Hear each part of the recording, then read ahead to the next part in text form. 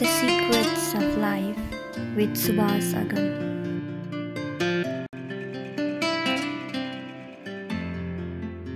Okay र नेपालमा हेर्नुहुन्छ भने काठमाडौँमा मृगस्थली है। हो?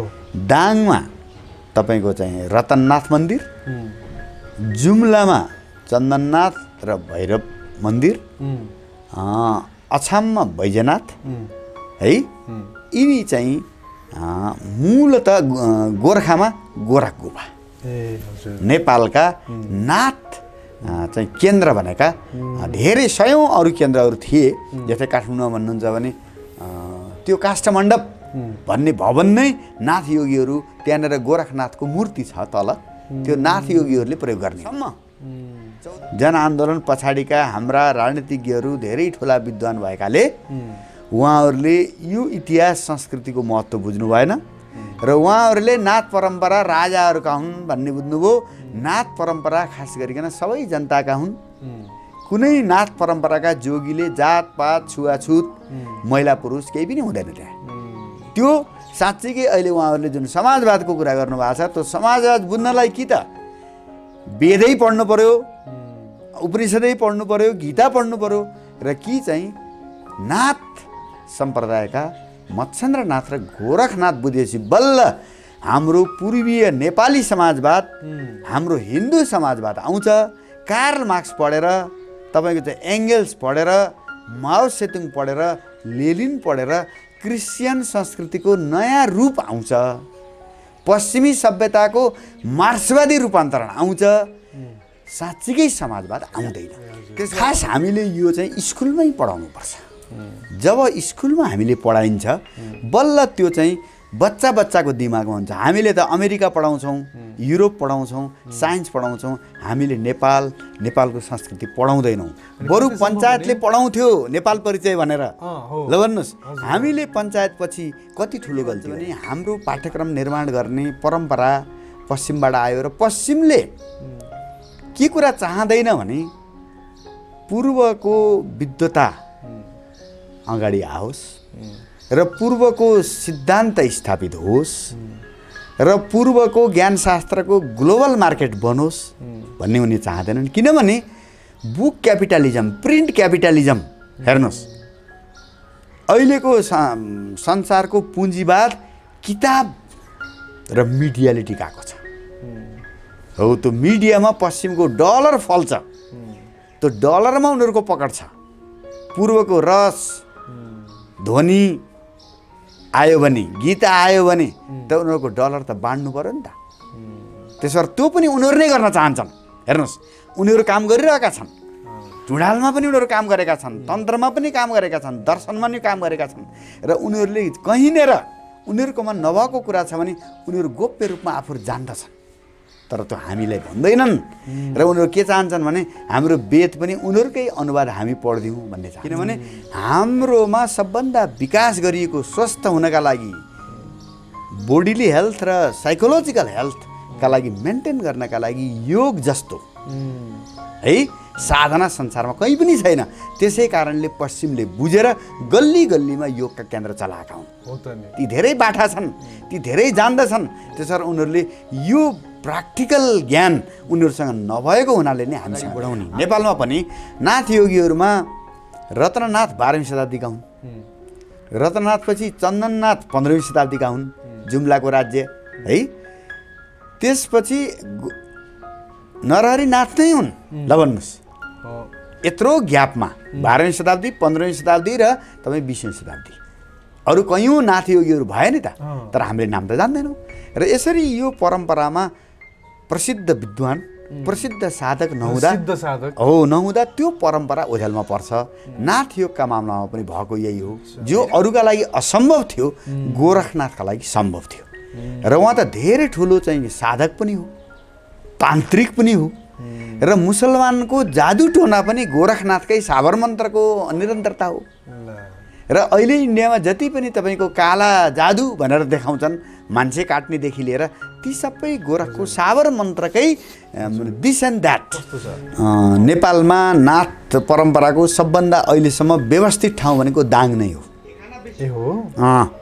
तपाईँले नेपालमा नाथको इतिहास खोज्नुभयो भने नाथको चाहिँ भारत अफगानिस्तानमा प्रभाव खोज्नुभयो भने रतननाथकै इतिहास हेर्नुपर्छ। रतननाथको काबुलसम्म। उनको प्रभाव थियो र त्यस भएर काबुलका राजाले उनलाई पीर भन्ने उपाधि दिएको हुनाले रतननाथ मन्दिरको प्रमुख जोगीलाई पीर भनिन्छ अहिले। The Secrets of Life with Subhas Agam.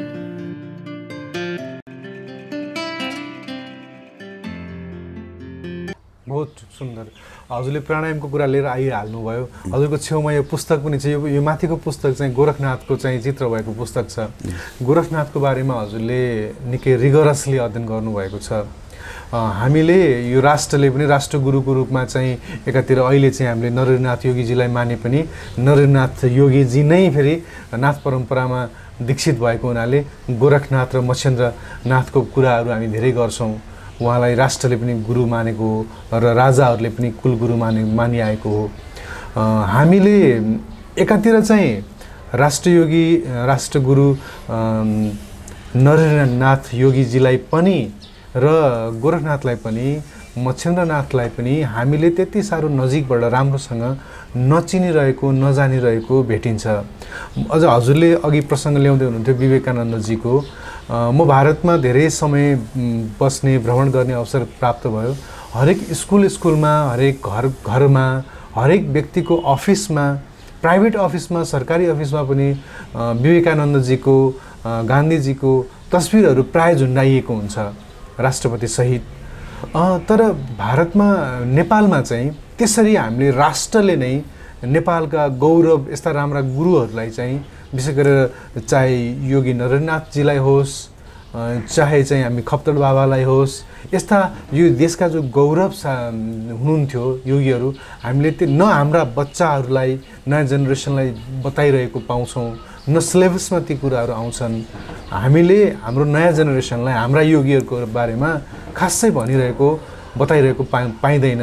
त्यही भएर यति प्रसङ्ग बनाइसकेपछि हजुरले यो बसाइमा थोरै चाहिँ उहाँहरूको बारेमा भनिदिनु पऱ्यो र र हजुर एकाडेमिक्समा पनि भएको हुनाले कसरी चाहिँ यी कुराहरूलाई एकाडेमिकमा पाठ्यक्रममा पनि लिएर आउन सकिन्छ कि सकिँदैन यसको बारेमा थोरै?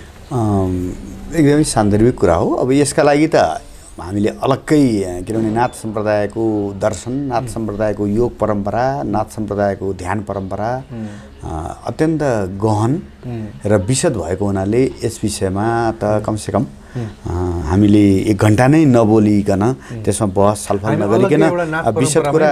हामी राख्न सक्दैनौँ। तर कुरा के हो भने यहाँले भने जस्तै स्वामी विवेकानन्द भूगोल र राजनीतिभन्दा माथि र परका व्यक्ति हुनुहुन्छ।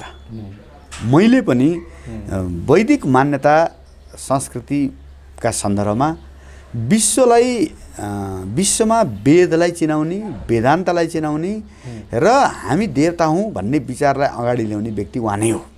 त्यसो उहाँ हामी सबै हामी सबै ओमकार परिवारको। हिन्दूहरूको मात्रै होइन। हामी सबै ओमकार परिवारको आदरणीय व्यक्तित्व हो। उहाँलाई हामीले भारतीय जोगी भनेर मात्रै मान्नु हुँदैन। त्यो चाहिँ उहाँलाई डिभेल्युसन हुन्छ। है? अब गोरखनाथका सन्दर्भमा भक्ति साहित्य यहाँले पढ्नुभयो भने कुनै पनि भक्ति साहित्यकारले तुलसीदास सुरदास होइन? अब तपाईँको चाहिँ मिरा होइन? कबीर यी सबै अब साहित्यकारहरूले जोगी भनेको योग साधना गर्ने सिद्ध पुरुष भनेको गोरखनाथ नै हो भनेर लेखेका छन्। कुनै पनि भक्ति साहित्यले गोरखनाथलाई छोडेको छैन। हेर्नुहोस्। र गोरखनाथको प्रभाव कर्नाटकमा कदली मठ भन्ने छ। हुँ, त्यो मङ्गलुर। हो मङ्गलुर भन्ने ठाउँमा हो त्यहाँबाट लिएर तपाईँको महाराष्ट्रको नासिक। अब पन्जाबको चाहिँ के भन्दाखेरि गोरखटिल्ला है? अब तपाईँको गोरखपुरको गोरखनाथ मन्दिर होइन? हरियाणा रोहतकमा रो रोत रोहतक। रोहतकमा त्यहाँ चाहिँ चाहिँ के भन्दा नाथको धेरै ठुलो चाहिँ मन्दिर छ है? त्यसै गरी चाहिँ फतेहपुर राजस्थान यी चाहिँ अहिले नाथका खास केन्द्रहरू भारतमा हेर्नुहुन्छ भने यी हुन्। र नेपालमा हेर्नुहुन्छ भने काठमाडौँमा मृगस्थली हुँ, दाङमा तपाईँको चाहिँ रतननाथ मन्दिर जुम्लामा चन्दननाथ र भैरव मन्दिर अछाममा बैजनाथ है? यिनी चाहिँ मूलत गोर्खामा गोरख गुफा नेपालका नाथ चाहिँ केन्द्र भनेका धेरै सयौँ अरू केन्द्रहरू थिए। जस्तै काठमाडौँमा भन्नुहुन्छ भने त्यो काष्ठमण्डप। भन्ने भवन नै नाथ योगीहरू त्यहाँनिर गोरखनाथको मूर्ति छ तल। त्यो नाथ योगीहरूले प्रयोग गर्ने हुन्। चौधौँ शताब्दीबाट त्यो नाथ योगीहरूलाई बस्नका लागि त्यहाँनिर चाहिँ उनीहरूको भण्डारा हुन्थ्यो। है?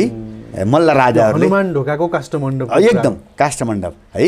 त्यो नाथ सम्प्रदायसित जोडिएको छ। त्यसै गरिकन तपाईँको चाहिँ अब यो थापाथलीमा।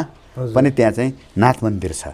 र अब जति पनि हाम्रो वज्रयानी परम्परा छ नेपालमा पाटन भक्तपुर काठमाडौँदेखि लिएर देशभरिको हाम्रो चाहिँ जस्तै गुरुङहरू तामाङहरू शेर्पाहरूमा जुन चाहिँ छ उनीहरूले चाहिँ अब मत्स्येन्द्रनाथलाई अवलोकितेश्वर आर्य अवलोकितेश्वरका रूपमा बुद्धको अवतारका रूपमा पूजा गर्ने भएको हुनाले नेपालमा रहेको वज्रयानी सम्प्रदायका गुरु मत्स्येन्द्रनाथ है र मत्स्येन्द्रनाथकै शिष्य गोरखनाथ। भएको हुनाले नेपालको संस्कृतिलाई खास गरिकन पन्ध्रौँ शताब्दीबाट दुई हजार छ्यालिस सालको जनआन्दोलनसम्म जनआन्दोलन पछाडिका हाम्रा राजनीतिज्ञहरू धेरै ठुला विद्वान भएकाले उहाँहरूले यो इतिहास संस्कृतिको महत्त्व बुझ्नु भएन। र उहाँहरूले नाथ परम्परा राजाहरूका हुन् भन्ने बुझ्नुभयो। नाथ परम्परा खास गरिकन सबै जनताका हुन्। कुनै नाथ परम्पराका जोगीले जातपात छुवाछुत महिला पुरुष केही पनि हुँदैन त्यहाँ। त्यो साँच्चीकै अहिले उहाँहरूले जुन समाजवादको कुरा गर्नुभएको छ त्यो समाजवाद बुझ्नलाई कि त? वेदै पढ्नु पर्यो उपनिषदै पढ्नु पर्यो गीता पढ्नु पर्यो र कि चाहिँ नाथ सम्प्रदायका मत्स्येन्द्रनाथ र गोरखनाथ बुझेपछि बल्ल हाम्रो पूर्वीय नेपाली समाजवाद हाम्रो हिन्दू समाजवाद आउँछ। कार्ल मार्क्स पढेर तपाईँको चाहिँ एङ्गल्स पढेर माओ सेतुङ पढेर लेलिन पढेर क्रिस्चियन संस्कृतिको नयाँ रूप आउँछ। पश्चिमी सभ्यताको मार्क्सवादी रूपान्तरण आउँछ। साँच्चीकै समाजवाद आउँदैन। त्यसो भएको हुनाले भारतमा त्यत्रो वर्ष बङ्गालमा शासन गरेका कम्युनिस्टहरू ढलेपछि कसैले सम्झेनन्। र नेपालमा पनि भोलि कम्युनिस्ट रहेनन् भने कसैले सम्झन्नन् जबसम्म उहाँहरू वेदसित जोडिनुहुन्न जबसम्म उहाँहरू नाथ परम्परासित जोडिनुहुन्न किनभने नेपालको चार सय वर्षको सभ्यता संस्कृति इतिहास नाथ सभ्यता संस्कृतिसित जोडिएको छ। त्यसो भएको हुनाले यो त हामीले कोर्समा राख्नु पऱ्यो अब हाम्रा कोर्स बनाउने विद्वानहरू हजुर त फेरि पाठ्यक्रम निर्माणमा होइन म त्यो मूलभूत रूपमा एघार बाह्रसम्म म जोडिया छैन। खास हामीले यो चाहिँ स्कुलमै पढाउनुपर्छ। जब स्कुलमा हामीले पढाइन्छ बल्ल त्यो चाहिँ बच्चा बच्चाको दिमागमा हुन्छ। हामीले त अमेरिका पढाउँछौँ युरोप पढाउँछौँ साइन्स पढाउँछौँ हामीले नेपाल नेपालको संस्कृति पढाउँदैनौँ। बरु पञ्चायतले पढाउँथ्यो नेपाल परिचय भनेर। ल भन्नुहोस् हामीले पञ्चायतपछि कति ठुलो गल्ती गऱ्यौँ त? नेपाल आमाका बारेमा नेपालको धरतीका बारेमा नेपालको संस्कृति सभ्यता भाषाका बारेमा इतिहासका बारेमा हामीले कति ठुलो अपमान गऱ्यौँ। जानेर नजानेर। र विश्वविद्यालयमा केवल पार्टीको अफिस मात्रै खोलेर विश्वविद्यालय विद्वानहरूका विचारहरू सञ्चालित हुन्छन्। ल भन्नुहोस्। मैले टुणालमा चाहिँ रिसर्च गरेको थिएँ। उमामहेश्वर मन्दिर यहीँ माथि छ। उमामहेश्वर मन्दिरमा भएका टुणालहरू अ, किन मन्दिरमा टुणाल राखिन्छ भन्ने विषयमा अध्ययन गर्ने क्रममा मैले चाहिँ हाम्रै वेद उपनिषदकै रिफ रिफरे रेफरेन्सहरू लिएर आएर चाहिँ अध्ययन गरिरहेको थिएँ र नेपाली मनुष्यहरू भारतीय मनुष्यहरूकै कुराहरू लिएर आउनु खोजिरहेको थिएँ। तर डिपार्टमेन्टका मेरा गाइडले चाहिँ मलाई सकेसम्म चाहिँ के भन्छ हाम्रो जुन पश्चिमका चाहिँ सेक्स अथवा सुपर कन्सियसनेससँग सम्बन्धित वैज्ञानिककै हाम्रो विद्वानहरू हुनुहुन्छ उहाँकै कुराहरू लिएर आउनुहोस्। उहाँकै कुराहरू मात्रै चाहिन्छ। उहाँहरूको कुरा नभएसम्म तपाईँको पास हुनु गाह्रो छ। भनेर मलाई क्रमशः एकदम क्रमिक रूपमा चाहिँ प्रेसर दिएको दे दिएको दे दिएको दे गर्नुभयो। र धेरै गाह्रो गरेर मैले उहाँका कुरा पश्चिमका कुराहरू पनि केही थपेँ। तर जब भाइभामा गएर चाहिँ मैले नेपाली र वैदिक उदाहरणहरू दिएर चाहिँ डिफेन्स गर्दाखेरि त्यहाँ बस्नुभएका गाइडहरूले चाहिँ अरू जजहरूले चाहिँ होइन तपाईँले चाहिँ अब यो पश्चिमी चाहिँ सिद्धान्तकारहरूका कुरा छोडिदिनुहोस्। तपाईँले वैदिक कुरा जुन भनिरहनु भएको छ त्यो नै ठिक लागिरहेछ हामीलाई। त्यो नै म्याचिङ भइरहेको देखिन्छ भनि भनिरहनु भएको थियो कि? यस्तो हुँदो रहेछ। सो यसरी युनिभर्सिटीका प्रोफेसर्सहरूले पनि सकेसम्म चाहिँ पश्चिमकै सिद्धान्तहरूबाट उहाँहरू प्रशिक्षित हुनुहुन्छ र त्यो नै ल्याउनुपर्छ भनिरहनु भएको हुन्छ। यसरी चाहिँ हाम्रा आफ्ना कुराहरू चाहिँ अगाडि आउन सकिरहेको छैन। हजुर। अब यसमा के छ भन्नुहुन्छ भने तपाईँको सुपरभाइजरले जे पढ्नु भएको थियो उहाँले त त्यही नै खोज्ने हुनुभयो। एउटा दोस्रो कुरो हामीले के बुझ्नुपर्छ भने पूर्वका बारेमा पूर्वका संस्कृतका टेक्स्टहरू अङ्ग्रेजीमा अक्सफोर्ड विश्वविद्यालय र हार्वर्डले सबै उल्था गरेको छ। यदि कुनै व्यक्तिहरूले त्यसमा अनुसन्धान गर्न चाहनुहुन्छ भने ग्रन्थको कमी छैन। अब हाम्रा विद्वानले पढेनन् हाम्रा विद्वान अहिले अमेरिका गएर दुई वर्ष बसेर आइसकेपछि उही इन्डिया छ महिना बसेर आएको लाउरेले त्यो कोदो कैसे फल्ता है कहाँ से फल्ता है भनेर भन्थ्यो अरे। होइन? अमेरिकामा तिन वर्ष बसेर आउने बित्तिकै अब चाहिँ वेद के हो? हिन्दू संस्कृति सभ्यता के हो? भनेर प्रश्न गर्नु त चाहिँ आफूले आफूलाई अल्छी बनाएको कुरा हो। त्यसो भएको हुनाले अब मैले के भन्छु भने हाम्रो पाठ्यक्रम निर्माण गर्ने परम्परा पश्चिमबाट आयो र पश्चिमले के कुरा चाहँदैन भने पूर्वको विद्वता अगाडि आओस् र पूर्वको सिद्धान्त स्थापित होस् र पूर्वको ज्ञानशास्त्रको ग्लोबल मार्केट बनोस् भन्ने उनी चाहँदैनन्। किनभने बुक क्यापिटलिजम प्रिन्ट क्यापिटलिजम हेर्नुहोस्। अहिलेको संसारको पुँजीवाद किताब र मिडियाले टिकाएको छ। हो त्यो मिडियामा पश्चिमको डलर फल्छ। त्यो डलरमा उनीहरूको पकड छ। पूर्वको रस ध्वनि आयो भने गीत आयो भने त उनीहरूको डलर त बाँड्नु पऱ्यो नि त। त्यसो भएर त्यो पनि उनीहरू नै गर्न चाहन्छन्। हेर्नुहोस् उनीहरू काम गरिरहेका छन्। टुँडालमा पनि उनीहरू काम गरेका छन् तन्त्रमा पनि काम गरेका छन् दर्शनमा पनि काम गरेका छन्। र उनीहरूले कहीँनिर उनीहरूकोमा नभएको कुरा छ भने उनीहरू गोप्य रूपमा आफूहरू जान्दछन्। तर त्यो हामीलाई भन्दैनन्। र उनीहरू के चाहन्छन् भने हाम्रो वेद पनि उनीहरूकै अनुवाद हामी पढिदिउँ भन्ने चाहन्छन्। होइन पढ्नुपर्छ। उनीहरूले धेरै मेहनत गरेका छन् धन्यवाद छ। तर हामीले उनीहरूको र हाम्रा यताको जस्तै वेदका लागि भारतमा दामोदर सात बल्लेकर भन्ने मान्छे धेरै ठुला विद्वान मान्छे हुन् त्यस्तै तपाईँको बाल गङ्गाधर तिलक स्वतन्त्रता सेनानी ती वेदका धेरै ठुला विद्वान मान्छे हुन्। स्वामी करपात्रीजी धेरै ठुला विद्वान मान्छे हुन्। श्री अरविन्दो धेरै ठुला विद्वान मान्छे हुन्। गङ्गानाथ झा धेरै ठुला विद्वान मान्छे हुन्। हेर्नुहोस् स्वामी समर्पणानन्द धेरै ठुला विद्वान मान्छे हुन्। हेर्नुहोस् हो यिनीहरूलाई पनि एकातिर पढ्नु पऱ्यो अर्कातिर हामीले म्याक्स मुलर रुडोल्फ रोथ होइन मोनियर विलियम्स होइन यिनीहरू पनि हामीले पढ्नु पऱ्यो त्यसरी पढ्यौँ भने सही अर्थ लाग्छ। होइन भने फेरि उनीहरूले जहाँ जहाँ सतै कुरा छ त्यो त दिन्छन् गोप्य कुरा छ त्यो चाहिँ त्यो स्वाभाविक हो हेर्नुहोस्। हामीलाई जसरी हाम्रो ठाउँ हाम्रो गाउँ हाम्रा मातापिता उत्कृष्ट लाग्छन् नि। भने उनीहरूलाई नै आफ्नो सभ्यता संस्कृति जसले सारा संसार खायो त्यो त उत्कृष्ट लाग्छ भनेपछि हाम्रो स्कुलिङबाट नै बचपनबाट नै बच्चाहरूलाई संस्कारित बनाएर लिएर आउनको लागि चाहिँ अब एकाडेमिक्समै नै किताबमा नै हुनु भए त राम्रो हुन्थ्यो। स्कुलकै पाठ्यक्रममा यी कुरा आउनु पर्यो। र स्कुल जग हो जस्तै भारतमा यो धेरै कुरा भएको छ। अब अहिले अहिलेसम्म त्यो आएको छैन अब कहिलेसम्म आउला त्यो एक्सपेक्टेसन गरौँ राम्रो होला भनेर। तर अहिले हामी एउटा जो जो अभिभावक घरमा बसेर हेरिरहनु भएको छ जो हामी चाहिँ पिताहरू अथवा चाहिँ बच्चाहरू जो छौँ जो जो हेर्दै हुनुहुन्छ उहाँहरूले अब आफूले आफूलाई प्रशिक्षित गर्न आफ्ना सन्तानहरूलाई प्रशिक्षित गर्नको लागि अब घरबाट नै संस्कार चाहिँ निर्माण नगरेसम्म चाहिँ सम्भव छैन। हजुर? अब हामीले आफ्नै ठाउँबाट जस्तै मैले अङ्ग्रेजीको प्राध्यापक भइकन अङ्ग्रेजीको हेड भइकन पनि मैले के बुझेँ भने मैले मलाई बुझ्न मेरो धरती बुझ्न मेरो समाज बुझ्न मेरो सेल्फ बुझ्नका लागि मैले वेद पढ्नुपर्छ र योग पढ्नुपर्छ। किनभने हाम्रोमा सबभन्दा विकास गरिएको स्वस्थ हुनका लागि बोडीली हेल्थ र साइकोलोजिकल हेल्थका लागि मेन्टेन गर्नका लागि योग जस्तो। है? साधना संसारमा कहीँ पनि छैन।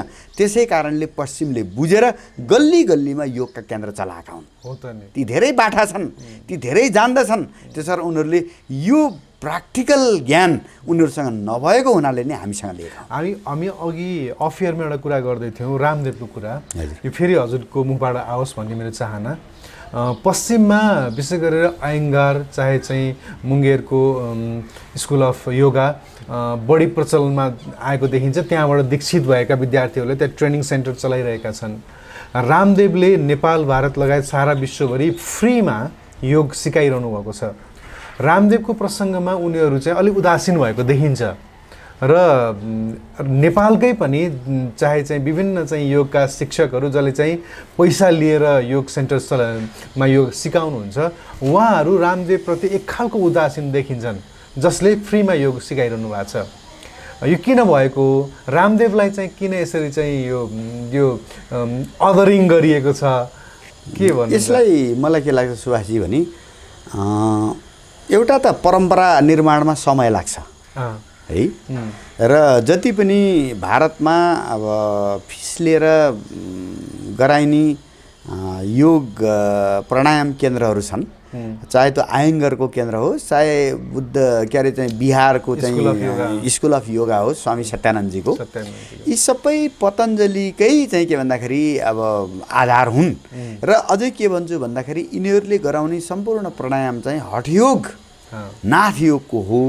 नाथ योग परम्परा कमजोर भएको हुनाले उनीहरूले दाबी गर्न नसकेका हुन्। पतञ्जलीको राजयोग मात्रै हो। ध्यान मात्रै हो। है? प्राणायामसम्मको कस्तो भइदियो भने ओम शान्ति भन्ने संस्थाले गर्दा राजयोग भन्ने शब्द कहीँ आयो कि राजयोग भन्ने बित्तिकै ओम शान्ति भन्ने चाहिँ फेरि एउटा आइडेन्टिफिकेसन भइसक्यो क्या मान्छेलाई। त्यो होइन। जबकि चाहिँ के भन्दाखेरि योगको मूल योग राजयोग नै हो। ध्यान है? त्यो ध्यानमा पुग्नका लागि आसनहरू मुद्रा होइन? प्राणायाम जरुरी छ। प्राणायामसम्म बाह्य विधिबाट गरिने हो। त्यसरी संसारमा अहिले जति पनि योग भनेर प्रचारित छ यो सबै हठयोग हो। यो सबै आसन र प्राणायाम हो। होइन? अब त्यसो भएको हुनाले रामदेवजीले यसलाई सार्वजनिक गरिदिनु भयो सार्वजनिक गरिदिनु भयो र धेरै ठाउँमा चाहिँ के भन्दाखेरि नि शुल्क केन्द्र चलाइदिनु भयो त्यसले गर्दा दुई खालका मान्छेलाई यसले घाटा पुर्यायो। एउटा धनी मान्छेहरू जसले फिस तिरेर गएर सिक्थे उनीहरूले आफूलाई अरू कमन गरिब मान्छेभन्दा म धनी भएका कारणले यो विशेष ज्ञान मसँग छ भन्ने उसलाई अहङ्कार तुष्टि हुन्थ्यो। अब पैसै नतिरिकन चौ प्रत्येक फिल्डमा सिक्न पाइएपछि त्यो धनीको अहङ्कारलाई यसले चाहिँ के भन्दा चोट गर्यो। नम्बर एक। नम्बर दुई अब उहाँले यसलाई आयुर्वेदसित गाँस दिनुभयो जडीबुटीसित गाँस दिनुभयो त्यसले गर्दा चाहिँ चाहिँ त्यो आयुर्वेदको यो मेडिकल प्रोफेसनका मान्छेहरूलाई पनि रामदेवसित चिड भयो। किनभने उनीहरूको पेसामा चाहिँ के भन्दाखेरि अलिकति आघात भयो। होइन? र पश्चिमले खास गरिकन अझै पश्चिमका साथीहरूलाई मैले जब रामदेवको उहाँहरूले योगको कुरा गरिरहँदा म स्विडेनमै बस्थेँ। र स्विडेनमा आयङ्गार आयङ्गार आयङ्गार जहाँ त्यही आयङ्गार आयङ्गार सुने मैले। होइन हौ नेपालमा त हामी भारतमा त रामदेवजीले यस्तो गर्नुभएको छ। रामदेवको योग पनि तिमीले हेरेको छौ? हेर त भनेर मलाई एउटा दुइटा रामदेवजीको इङ्ग्लिसमै भएको भिडियो पनि मैले पठाएर हेरेँ। अनि अँ yeah I saw but it's okay I don't I don't really enjoyed it I don't like it भनेर उनीहरूले खै किन हो? किन रामदेवजीको मन पराएनन् के? अनि त्यसको पछाडि अरू केही कारण होइन। मेन कुरा त आयङ्गरले विकास गरेको योगा सुरुदेखि अङ्ग्रेजीमै। अँ अँ अँ। र आयङ्गर त अब हामीले आइङ्गारलाई चिनेनौँ। तमिलनाडु कि केरलका हुन् उनी हो, उनी साधक हुन् उनी धेरै राम्रो फिजिकल योगाका धेरै चाहिँ के भन्दाखेरि प्रसिद्ध मान्छे हुन्। हो। त्यसो भएर सुरुबाटै के भयो भने त्यो राम्रो अङ्ग्रेजीको प्रभाव जस्तै अहिले युट्युबमा तपाईँले। एकदम के के गुरु अरे?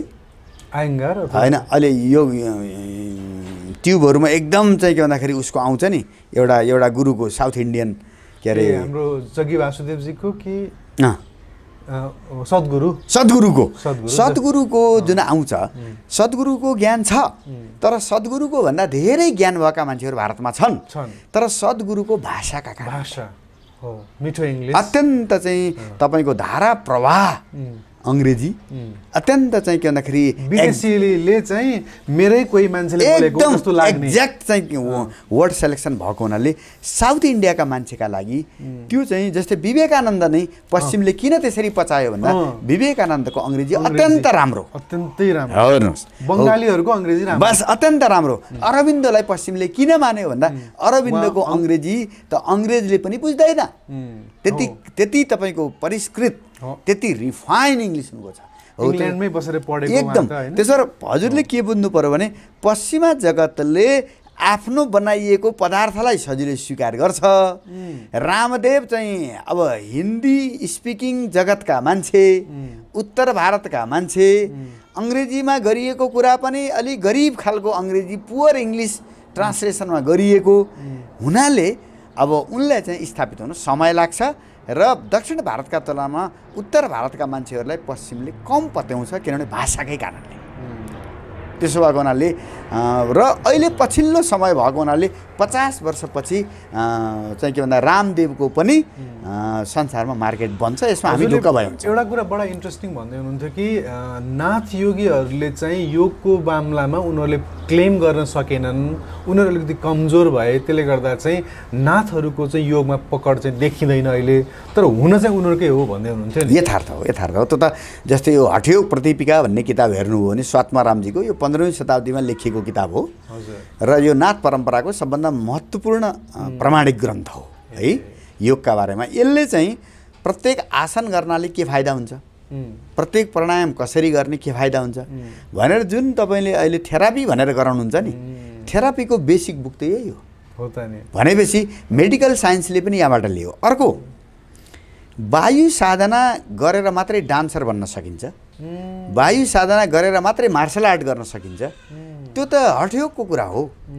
भनेपछि अब मार्सल आर्ट गर्नेले पनि डान्स गर्नेले पनि तपाईँको चाहिँ नाथ योगको वायु साधनाबाट वायु साधनाका पद्धति उनले लिए। तर मैले भने नि नाथ योग अलि पुरानो भयो। है नेपालमा पछिसम्म रहेको हो। भारतमा यो मध्ययुगमा थियो। सोह्रौँ शताब्दी अठारौँ शताब्दी पछि अरू भक्ति धाराले त्यसलाई चाहिँ ढाक्दै गए है? त्यसले गर्दा अलिक पछि भयो र त्यसका तपाईँको खास के रहेछ भने गुरु परम्परामा त्यसलाई अगाडि बढाउने। नेपालमा पनि नाथ योगीहरूमा रत्ननाथ बाह्रौँ शताब्दीका हुन्। रत्ननाथपछि चन्दननाथ पन्ध्रौँ शताब्दीका हुन् जुम्लाको राज्य है? त्यसपछि नरहरिनाथ नै हुन्। ल भन्नुहोस्। हो, यत्रो ग्यापमा बाह्रौँ शताब्दी पन्ध्रौँ शताब्दी र तपाईँ बिसौँ शताब्दी। अरू कैयौँ नाथ योगीहरू भए नि त। तर हामीले नाम त जान्दैनौँ। र यसरी यो परम्परामा प्रसिद्ध विद्वान प्रसिद्ध साधक नहुँदा हो नहुँदा त्यो परम्परा ओझेलमा पर्छ। नाथ योगका मामलामा पनि भएको यही हो होइन? तर रियल यो शास्त्र योग शास्त्र खास गरेर आसन शास्त्र प्राणायाम शास्त्र हठयोगको भाग हो र यो नाथ योगकै हो र त्यसै गरी हामीले यो नाथ योगको भनेर त्यसलाई नमन अ, गोरखनाथको परम्परा सुरु भएदेखि गोरखनाथले त यति धेरै तरिकाले योग गराउनु भयो अरे कि यति धेरै विधि दिनुभयो कि भारतमा एउटा परम्परा नै चल्यो कि ए तो गोरख धन्दा है भनेर चाहिँ भन्ने अथवा गोरख धन्दा भनेको यो अति नै अच- अचम्मै गर्ने चिज। होइन अचाक्लिने गर्ने भनेर भनिएको थियो यो गोरखनाथले यति धेरै अचाक्ली साधनाका विधिहरू बनाउनु भएछ तर पनि गोरखनाथको परम्परा लेगेसी चाहिँ अहिलेसम्म त्यो हुन्छ नि त्यस्तो त्यो जुन रूपमा अरूको लेगेसी बढिरहेको छ त्यो आएन यसमा के के कहाँ समस्या छ? समयको ग्याप पनि हो। गोरखनाथको त समय ग्याप भयो नि। होइन? जस्तै अहिले भर्खर हामी विवेकानन्दको कुरा गर्दैछौँ। समय धेरै भएको छैन। जस्तै हामी स्वामी दयानन्दको कुरा गर्छौँ। समय धेरै भएको छैन। अरविन्दको कुरा गर्दैछौँ। गोरख धन्दा भन्ने चाहिँ यो खास कसरी बन बन्न गयो? होइन। के गर्नुहुन्थ्यो गोरख होइन, गोरखको अलिकति प्रवृत्तिको होइन गोरखनाथ चाहिँ ठुला सिद्ध हुन् र उनी रसयोगी पनि हुन्। रसयोगी भनेको चाहिँ के भन्दाखेरि आयुर्वेद। तपाईँको स्वर्ण भस्म लौह भस्म भन्ने छ नि। यो पारालाई सुन बनाउने। त्यसो र उहाँ चाहिँ यो मेटल मेटल र आयुर्वेदको पनि धेरै ठुलो एक्सपर्ट भएको हुनाले उहाँसँग त्यो चाहिँ अत्यन्त ठुलो क्षमता थियो। जो अरूका लागि असम्भव थियो गोरखनाथका लागि सम्भव थियो। र उहाँ त धेरै ठुलो चाहिँ साधक पनि हो तान्त्रिक पनि हो। र मुसलमानको जादु टोना पनि गोरखनाथकै साबर मन्त्रको निरन्तरता हो।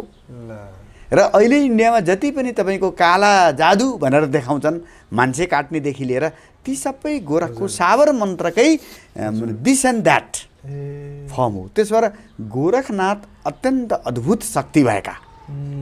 परम सिद्ध भएको हुनाले गोरखले जे पनि गर्न सक्ने जिउँदोलाई मार्दिन पनि सर्ने मारेर जिउँदो बनाउनु पनि सक्ने। रोगीलाई निरोगी बनाउनु पनि सक्ने निरोगीलाई रोगी बनाउनु पनि सक्ने। पुरुषलाई नारी बनाउन पनि सक्ने नारीलाई पुरुष पनि बनाउन सक्ने। किनभने उनी आफू आफ्ना गुरुलाई बचाउनका लागि उनी स्त्री बनेरै गएको कथा आउँछ नि। हो त्यस भएको हुनाले गोरखनाथले जे पनि गर्न सक्ने भएको हुनाले एभ्रिथिङ पोसिबल टु गोरख भन्ने अर्थमा गोरख धन्दा। ज्याक अफ अल भन्ने अर्थमा भन्ने अर्थमा यो प्रयोग भएको हो। ठिक ठिक ठिक। तर पनि गोरखको परम्परा चाहिँ अब अहिले जुन जुन रूपमा आइरहेको छ त्यो त कमसेकम नेपालमा अहिले पनि मृगस्तरीको चाहिँ यो आश्रमले काम गरिरहेको छ र नयाँ नयाँ विशेष गरी आइजिबीका छोरा लगायतका चाहिँ विभिन्न नयाँ नयाँ योगीहरू पनि यो परम्परामा दीक्षित हुँदै हुनुहुन्छ त्यो हिसाबले चाहिँ अब अझै केही जागरण होला कि भन्ने आशा चाहिँ छ होइन? होइन। कस्तो छ? नेपालमा नाथ परम्पराको सबभन्दा अहिलेसम्म व्यवस्थित ठाउँ भनेको दाङ नै हो। ए हो? अँ। तपाईँले नेपालमा नाथको इतिहास खोज्नुभयो भने नाथको चाहिँ भारत अफगानिस्तानमा प्रभाव खोज्नुभयो भने रतननाथकै इतिहास हेर्नुपर्छ। रतननाथको काबुलसम्म उनको प्रभाव थियो र त्यस भएर काबुलका राजाले उनलाई पीर भन्ने उपाधि दिएको हुनाले रतननाथ मन्दिरको प्रमुख जोगीलाई पीर भनिन्छ अहिले। त्यसो भएको हुनाले नेपालमा अहिले पनि नाथ आश्रम मन्दिर परम्परा कहीँ अविच्छिन्न रूपमा चलिरहेको छ भने त्यो दाङ हो। मृगस्थली त धानिएको मात्रै छ। मृगस्थलीमा त्यस्तो जीवन्त परम्परा छैन। साधु महाराजहरू हुनुहुन्छ मन्दिर छ पूजा हुन्छ तर तपाईँको त न त्यहाँ लाइब्रेरी राम्रो छ। अब तपाईँको चाहिँ यो बहत्तर सालको भूकम्पपछि त्यो चाहिँ जीर्ण अवस्थामा छ। त्यसो भएर नाथयोगकै बारेमा तपाईँले अनुसन्धान गर्न खोज्नुहुन्छ भने दाङ जानुपर्छ। त्यसपछि जुम्ला जानुपर्छ। त्यसपछि सुदूरपश्चिमका जिल्लाहरू जानुपर्छ जानेर हजारौँ हजार नाथ जोगीहरू घर गृहस्थी गरेर बसेका छन्। त्यस भएर काठमाडौँ त इतिहास हो वर्तमानमा बहुत कमजोर अवस्थामा छ। ठिक। यसरी हामीले नाथलाई बुझ्नुपर्छ। अब हाम्रो कार्यक्रमको अन्ततिर आइपुगेका छौँ। अब दुईवटा प्रश्न मूल रूपमा म तपाईँलाई सोध्न चाहन्छु। एउटा अब हजुरले मुद्रादेखि लिएर ध्यान र योगका विभिन्न आयामलाई बुझिसक्नु भएको र वेदान्त पनि बुझ्नुभएको हुनाले एउटा साधक जो साधना गर्न चाहन्छ साधनामा अग्रसर हुन चाहन्छ उसले कुन कुन कुराहरू उसले घरमा नै बेसिक रूपमा उसले गर्दै जाँदा चाहिँ उसलाई साधनामा सहज हुन्छ राम्रो हुन्छ योगको आयामदेखि लिएर प्राणायामदेखि लिएर भन्नु त्यसलाई पहिलो कुरा त के हुन्छ भने कुनै पनि योग साधना जान्ने गुरु नभइकन सुरु गर्नु हुँदैन। पहिलो कुरो आफूले घरमा किताब हेरेर कहिल्यै प्राणायाम गर्ने होइन। ओके। प्राणायाम कमसेकम एक हप्ता। जान्नेसँग सिकिसकेपछि बल्ल किनभने वायु साधना नजानी गरियो भने वायु साधनाले पेटमा विकृति ल्याउँछ। अपच क्रिया हुन्छ वायुलाई ठिक ढङ्गले परिचालन गर्न सकिएन भने दिमागमा असर पर्छ। हो त्यसो भएको हुनाले आसन पनि सिकेर गर्नु बेस। है? आसनलाई एक दुई दिन सिक्दा हुन्छ। प्राणायामलाई कमसेकम पनि सात दिन। है? अब स्वामी रामदेवले भनेका प्राणायाम पनि रामदेवका पतञ्जलीका विभिन्न ठाउँ केन्द्रहरू छन्। त्यहाँ गएर कमसेकम एकपटक हामीले गुरुबाट सिक्नुपर्छ। त्यसपछि मात्रै साधना गर्ने हो। र साधना यही गर्दा हुन्छ भन्ने होइन। किनभने साधकले कति समय दिन्छ? साइन्स जस्तै हो साधना। जति बढी समय तपाईँले ल्याबमा दिनुहुन्छ ल्याबको रिपोर्ट रिजल्ट त्यसरी आउने हो। योग साधना समयका आधारमा कन्सन्ट्रेसनका आधारमा श्रद्धाका आधारमा गरिने समर्पणका आधारमा गरिने साधनाबाट मात्रै फल प्राप्त हुन्छ। केवल मैले यति गरेँ यति समय दिएँ भनेर क्यालकुलेसन गरेर कहिल्यै पनि योगले परिणति दिँदैन। ठिक। हाम्रो कार्यक्रमको नाम नै द सिक्रेट्स अफ लाइफ छ के लाग्छ गुरु? हाम्रो यो जीवन के का लागि प्राप्त भएको? यो जीवनको रहस्य चाहिँ के हो? जीवन अत्यन्त सुन्दर बगैँचा हो। यसभित्रको माली भनेको चेतना हो। चेतना हाम्रो हिन्दू र बौद्ध परम्परा अनुसार मानवमा मात्रै होइन। किरा फट्याङ्ग्रा पशु पक्षी इभन रुख बिरुवामा समेत त्यो चेतना छ। हजुर। त्यसले अनुभूत गर्छ। त्यसो भएर हामीले चाहिँ के बुझ्नुपर्छ भन्दा सबै मान्छे बराबरी क्षमताका हुन्। कसैले बढी अवसर पाए पिएचडी गरे। कसैले साइन्स पढ्न पाए इन्जिनियर डक्टर बने अथवा एप्लाइड साइन्स पढे अब एप्लाइड साइन्स फिल्डमा इन्जिनियर डक्टर भए अब कोर साइन्स पढे अब तपाईँको चाहिँ वैज्ञानिक भए म्यानेजमेन्ट पढे ब्याङ्कका म्यानेजर भए तर त्यो ब्याङ्कको म्यानेजर र त्यहाँ झाडु बढार्ने वेदान्तका दृष्टिले ती दुइटैमा आत्मा छ ती दुइटैमा चेतना छ र वेदान्तका दृष्टिले त्यहाँ बस्ने कुकुर भित्र पनि त्यही चेतना छ।